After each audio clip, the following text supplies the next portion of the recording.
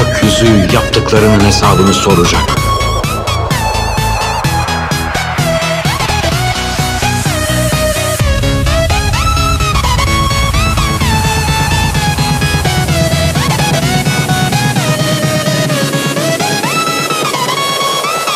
Bazen yaşam uğrunda ölmeye değer.